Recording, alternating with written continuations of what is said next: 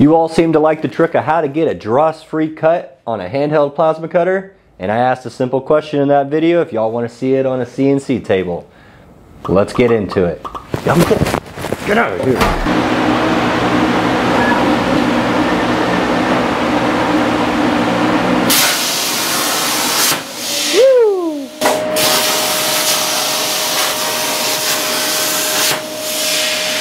Straight moving.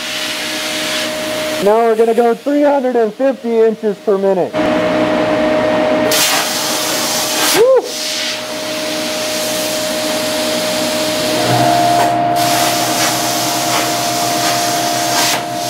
I definitely started seeing a little drag. Now we're going to run 16 gauge, 150, 150.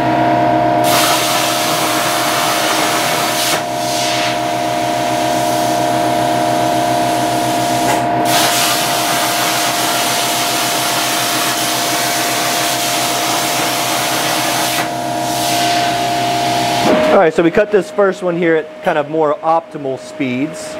We can look at the dross on this one. Man, that looks really good. We got some little schmutz in the corners here. The circle is clean as can be. A little bit of dross in the corners there.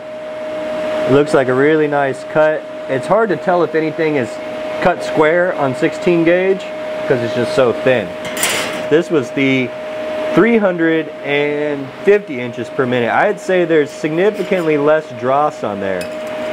Definitely less dross. However, as far as the right angle goes, I feel like these corners got a little bit rounded off a little bit more. It looks like we could potentially pump up the numbers that I'm seeing as far as a 45 amp consumable, 16 gauge, and what the cut chart is telling me. I'm able to go 100, almost 100 inches a minute more uh, and still be able to cut this part. So these are the things that you need to consider.